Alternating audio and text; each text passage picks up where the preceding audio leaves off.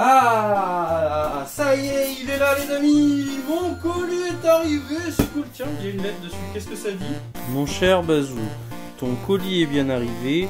Je l'ai retrouvé dans la cage d'escalier de l'immeuble aux côtés duquel un facteur était affalé inanimé. Après l'avoir réveillé et lui avoir offert un verre d'eau, il est finalement parvenu à traîner le paquet jusqu'ici tout en poussant de nombreuses injures. Mais qu'est-ce que c'est que cette connerie? Merci de bien vouloir tout ranger avant mon retour. Je déteste ta manie d'acheter de vieilles choses inutiles. Gros bisous, qui pourrait se changer en coup de pied au cul si tu ne le fais pas. Ok. Bah c'est parti les amis, on va juste euh, déplacer ça. Putain mais...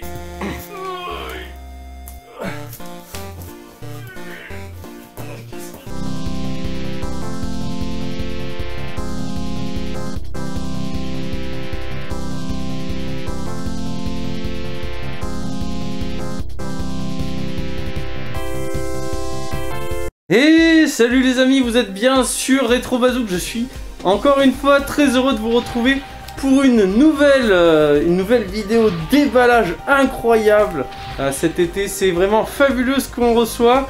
La deuxième partie de la vidéo déballage. Et là, vous voyez que je suis actuellement coincé. Je ne peux absolument pas bouger. J'ai un, colis de, de 20 kilos rempli de matériel, de console et autres hardware rétro euh, exotiques, vous allez voir. Voilà encore un colis venu du Japon, acheté en collaboration avec l'APNI euh, Captain Musoid, que je remercie énormément évidemment, car sans lui je n'aurais pas pu vous présenter ces superbes, ces superbes colis. Et, euh, et ben c'est parti, on va voir si j'arrive à l'ouvrir, à m'en sortir sans bouger. Je, je l'ouvre pour la première fois en vidéo, encore une fois. Euh, Peut-être que j'espère que j'aurai pas de mauvaises surprises comme du matériel abîmé ou des consoles cassées. Ça, pas savoir à l'avance, mais je préfère ah, avoir la surprise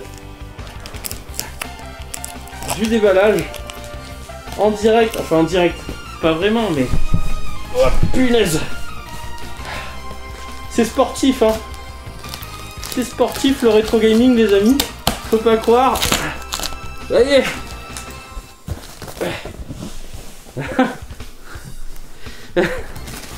Hop là. Un couvercle d'ouvert. Oh la vache. Un deuxième couvercle d'ouvert. Alors celui-là, je sais pas comment je vais faire sans cacher la caméra. Un troisième. Un troisième couvercle d'ouvert. Et, et un quatrième. Attention, va falloir le plier. Voilà. Et c'est parti. C'est parti pour l'unboxing de ce colis. Alors, tout d'abord, le légendaire papier bulle habituel. Et voilà. Allez, on commence par le premier item. Un item commandé par notre ami Capitaine Musoïde. Un Guncon en boîte avec euh, la boîte, ma foi, en très bonne qualité. Donc pour ceux qui ne sauraient pas, le Guncon c'est un pistolet qui permet de jouer notamment à Time Crisis sur la PlayStation. Allez, on va, on va juste euh, regarder s'il est complet. À la fois, euh, regardez, il tient tout juste dans la boîte. hein. Il tient tout juste dans la boîte. Donc je laisserai au, bon soin du capitaine Musoïde de le, tester plus en détail lors du live de vendredi, euh, vendredi 24 juillet, je vous le rappelle. Soyez présents les amis, on aura un énorme live test avec plein ben, de consoles et de jeux ju- justement. Ce sera en live, hein, ce sera en direct, ce sera vendredi soir. Certainement pas très tôt. Allez, deuxième, deuxième colis, enfin deuxième colis, deuxième objet du lot. Alors qu'est-ce que c'est? Oh Alors ça les amis, c'est quelque chose que je n'avais encore jamais eu entre mes mains. Donc ça fait extrêmement plaisir. Il s'agit de deux manettes 3DO. Donc vous l'aurez bien compris, je me lance, euh, voilà, je, me lance dans la 3DO, j'ai envie de, l'essayer. Euh, elles, ont l'air bien, hein. Ah, la, croix est un peu molle. La croix est un peu molle. C'est peut-être le petit défaut qu'on peut lui reprocher. Les gâchettes sont très très bien pour l'époque. Les boutons, ma foi, ça va. À mon avis, c'est très jouable. Donc, il y, a- il y a les deux modèles de, de manettes de l'époque. Bien sûr, on testera, hein, on testera tout. Il y en a une un peu plus petite que l'autre. Donc voilà. Allez, deuxième item. J'arrive même pas à voir euh, ce que je récupère. Ah Ça, c'est un colis pour moi. Il s'agit, monsieur, dame, alors c'est très très jaune, mais ça va évidemment passer à la boîte à Retro Bright. D'une Super Famicom Junior. Voilà, si vous ne connaissiez pas ce modèle, et ben, vous- ne vous inquiétez pas, vous n'êtes pas le seul. C'est un modèle euh, sorti tardivement, qui malheureusement euh, ne délivre pas du output RGB euh, nativement, il va falloir la modder. Mais elle a l'avantage, excusez-moi, d'avoir une PCB avec ce qu'on appelle les one chip. Une seule puce pour le traitement vidéo au lieu de deux. Excusez-moi. Donc une fois modée, en fait, elle devrait avoir une qualité d'image supérieure au Super Famicom euh, normal, on va dire. Donc voilà. Donc ça, ça va être modé, ça va être rétro whité. Et euh, bah, je vous donnerai suite sur la chaîne de, l'avancement, évidemment. Ensuite, une autre Super Famicom incroyable. Alors ça, c'était euh, celle qui était livrée avec les jeux que vous avez vus dans la précédente vidéo. Donc elle a rien de spécial. Et, euh, et, puis voilà, ça va sûrement partir à l'échange ou à la vente. Parce que je, je saurais pas trop quoi en faire en réalité. Ensuite. Ah bah là c'est que du papier. Alors qu'est-ce que j'ai devant moi? Ah ça j'aime bien. Ça j'aime bien. Il s'agit, les amis, d'un euh, Dragon Quest Kenshin. Donc en fait c'est un, une console plug and play avec une épée dans l'univers de Dragon Quest, un peu comme, euh, je sais pas si vous l'avez déjà vu, mais j'avais fait une série de vidéos sur le jeu euh, Warriors of Middle Earth, il me semble, euh, sur le thème du Seigneur des Anneaux. Donc ça c'était une console similaire de type plug and play qui avait été développée par Tigers Electronics. Celle-ci c'est pas Tigers Electronics, c'est bien Square Enix. Mais euh, c'est le même principe, on branche euh, la petite console sur la télé, ça délivre du composite, et on joue euh, debout avec une épée. Donc c'est un peu comme si on jouait à la Wii quoi. Donc c'est très sympa, j'en avais déjà un modèle, mais il ne fonctionnait pas. Celui-ci est certifié de fonctionner par le vendeur avec des images à l'appui. Donc j'espère ne pas être déçu, on testera ça bien évidemment plus tard. Allez les amis, qu'est-ce qu'on a encore? Ah, Je vous laisse apercevoir un petit peu ce qui reste. ok, j'ai tout spoilé. Oh putain.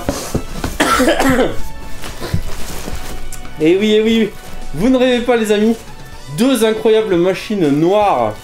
Avec d'un côté un méga CD modèle 1. Donc voilà, très très content euh, de rentrer ça.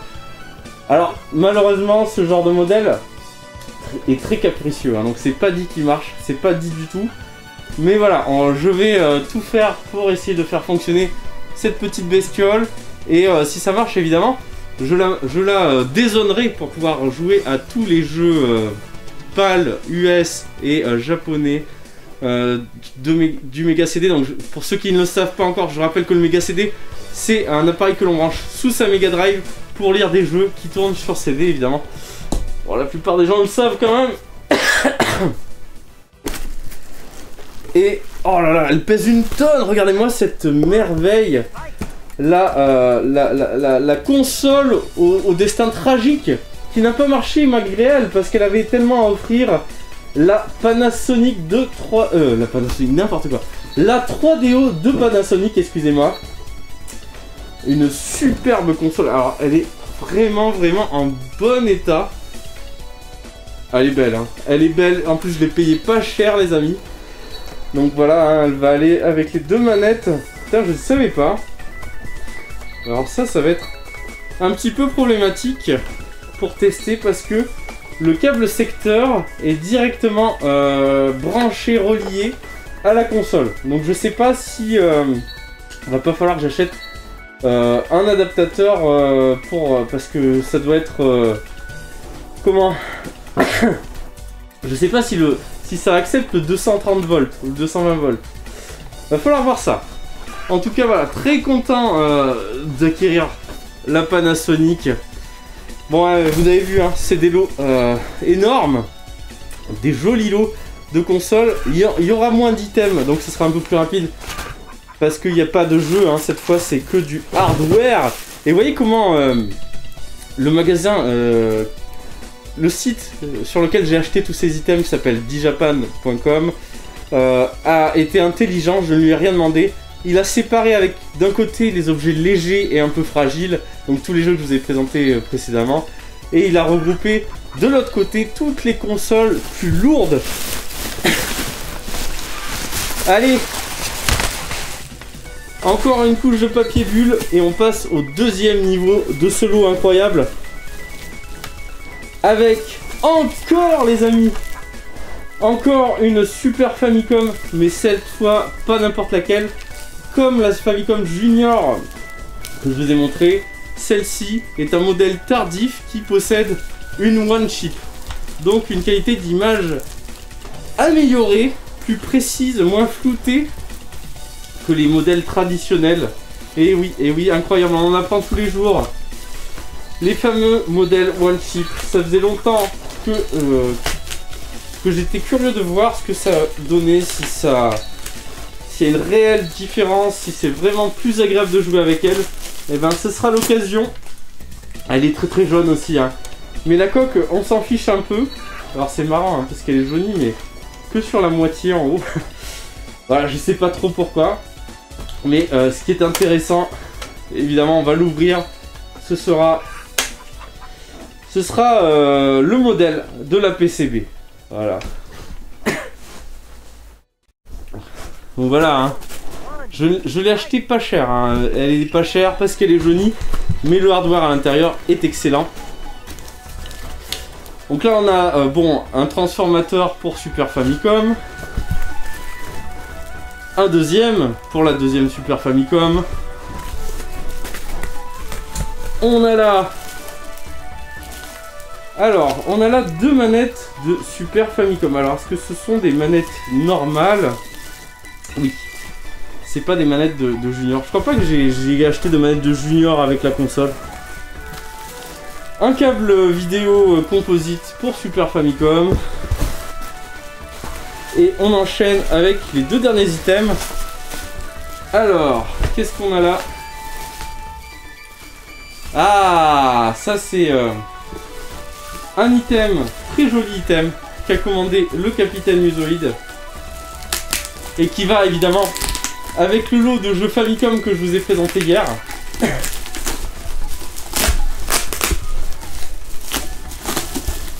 une sublime.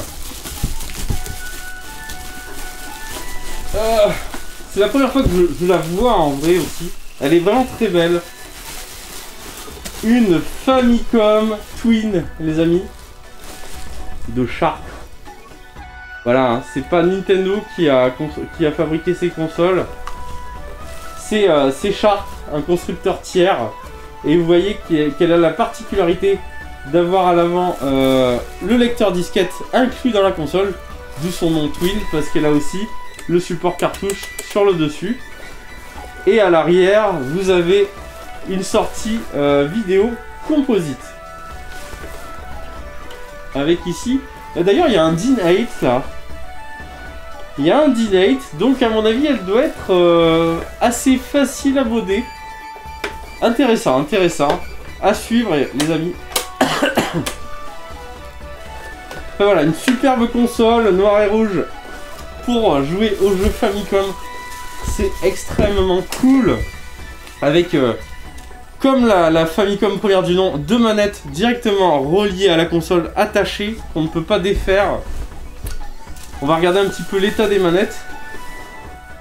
Ça a l'air tout à fait correct, écoutez, hein. Voilà, c'est euh, c'est vraiment le même design que les manettes Famicom. Les crocs ont l'air très très bonnes. C'est un peu plus arrondi sur les côtés, du coup c'est plus agréable à tenir en main. Franchement, c'est des euh, c'est des super manettes. Pour jouer à la Famicom, les amis, c'est super. Et euh, évidemment, je crois qu'elles, y avait un emplacement pour les attacher. Ah, mais derrière, voilà. En fait, voilà, on les pose à l'arrière de la console comme ceci. voilà, donc c'est très sympa comme console. Je pense que l'ami Musoïde est impatient de venir euh, euh, récupérer son dû. et je le comprends.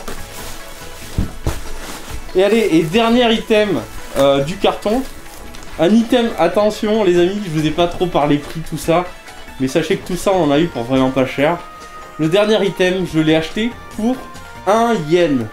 1 yen, les amis, c'est 0,80 centimes d'euros. Pas 0,8 euros. 0,80 centimes d'euros. Moins d'un centime. Voici ce que j'ai obtenu sur Yahoo Auction, les amis. Un stick Mad Cats Tournament Edition pour Xbox 360. Alors là. Alors on peut maintenant euh, enlever le carton parce que c'était le dernier item. Voilà.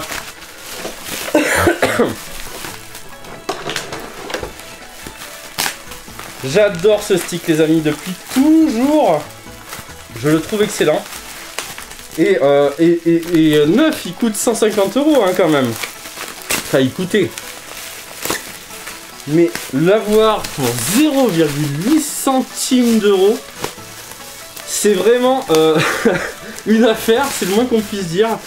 Regardez-moi ça. Alors pourquoi est-ce qu'il était si peu cher? Et là parce qu'il est jaune, il est extrêmement jauni. Encore une fois, vous voyez, le plastique est jaune. Mais sinon, voilà, c'est c'est du sanois, hein. c'est incassable. Le stick, euh, tout est, c'est full. C'est euh, Mad Cats, voilà, c'est un, un, stick de qualité. Et je pense qu'une fois euh, passé à la machine à Retro White, eh bien, au pire, si ça marche pas, je mettrai un coup de peinture, je m'en fous. Hein. Enfin, j'arriverai à lui redonner une certaine esthétique. Et puis, voilà, ça fait un stick. Un super stick, les amis. Ça, c'est vraiment de la qualité. C'est le Tournament Edition. Donc c'est ce qui se faisait de mieux à l'époque de la 360. Hein. Il y avait énormément de joueurs, même des joueurs professionnels, qui jouaient avec ce stick-là. Et bien euh, voilà, ça va me permettre de jouer. Alors j'en avais déjà des sticks, mais celui-là, je vais le modder avec une des nombreuses manettes que j'ai reçues pour pouvoir jouer avec sur la Super Nintendo. Voilà, donc après on se fera plaisir, on se fera toute une série de petits jeux de, de versus avec un super stick full sanois qu'il n'y avait pas à l'époque sur cette console. Et voilà, et ça va être génial les amis. Donc ça me permettra de faire euh, des nouvelles euh, vidéos tutoriels, de, euh, nouvelles vidéos tests. Et, puis voilà, de vous faire découvrir des jeux avec la meilleure expérience possible. Donc je suis extrêmement content. Et là, on peut le dire sans jeu de mots. C'est donné, c'est vraiment donné 0,8 centimes d'euros. voilà. Voilà ce que vous pouvez avoir en cherchant bien sur internet. Bon, évidemment, après il y a les frais de port à payer, donc euh, c'est quand même pas gratuit totalement. Mais les frais de port, les amis, c'est des frais de port globaux pour l'ensemble des consoles que j'ai reçues aujourd'hui. Donc euh, voilà, ça, ça, a dû me coûter au tout et pour tout moins de 10 euros. Voilà les amis, euh, j'espère que vous aurez apprécié autant que moi cette vidéo. Je, je sais plus où donner de la tête. Franchement, euh, les amis, des fois, je me demande s'il faudrait pas que je m'enferme à clé, jette la clé par la fenêtre. Parce que là, même en restant des, mois euh, seul dans mon appart, je, je pourrais pas m'ennuyer. J'ai tellement de jeux et de consoles à tester et à vous faire découvrir. Et franchement, bah, c'est top, voilà. Donc, euh, pour, ceux qui veulent savoir, en fait, ce lot ne m'a quasiment rien coûté. Parce que ce que j'ai payé, déjà c'est un lot combiné avec la, la Mimusoïde, donc ça réduit les coûts, évidemment. Et, euh, puis, euh, j'ai vendu par la suite une PC Engine Duo que j'avais modé. Donc ça amortit énormément le prix total du colis. Donc c'était Tout ça, c'est quasiment gratuit en fait. Enfin, j'exagère un petit peu. Mais euh, voilà, pour tout ça, j'ai dû payer moins de 100 euros. Donc euh, voilà, dites-moi ce que vous en pensez. Moi, je trouve que ça vaut le coup. Et, euh, si c'était à refaire, je le referai. Et je pense que je vais le refaire dans pas si longtemps, les amis. Sur ce, je vous embrasse. Des bisous, à très bientôt. Ciao et, à bientôt sur Retro Bazook.